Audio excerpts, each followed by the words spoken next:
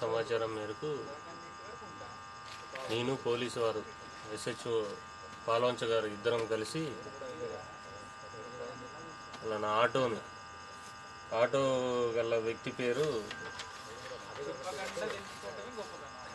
యాటా నరేష్ సన్నా Mangayya. Auto డ్రైవర్గా పనిచేస్తూ ఉంటాడు అతను. అతని దగ్గర నుంచి మాకు విశ్వసనీయమైన సమాచారం మేరకు ఈ ఈ పలానా అల్లూరు సెంటర్ నుంచి పీడిఎస్ ధాన్యం పీడిఎస్ బియ్యం పోతున్నాయని మాకు సమాచారం రాగానే నేను పోలీసు వారు ఇద్దరం కలిసి వచ్చి అది వెంబడించి పట్టుకున్నాము. అది ఎక్కడికి పోతుందో అని చూస్తే పలానా పాలవంచలో ఉన్న రైస్ మిల్లు నాకు వచ్చిందని తెలిసింది. తెలవగానే మేము వచ్చాము చూసాము.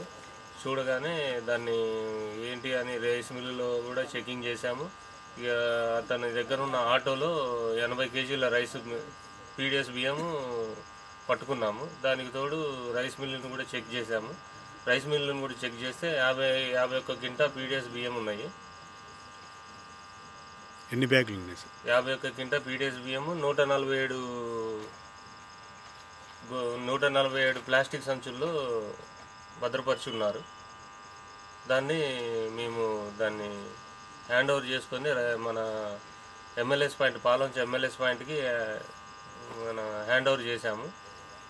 వారి మీద ఆటో డ్రైవర్ మీద ఆటో మీద మరియు రైస్ మిల్ మీద సిక్స్ ఏ కేసు బుక్ చేసి కలెక్టర్ సిఎస్ భద్రాద్రి కొత్తగూడెం పౌర సరఫరాల శాఖ కలెక్టర్ సిఎస్ గారికి రిపోర్టును అందజేసి కేసు బుక్ చేయడం జరిగింది.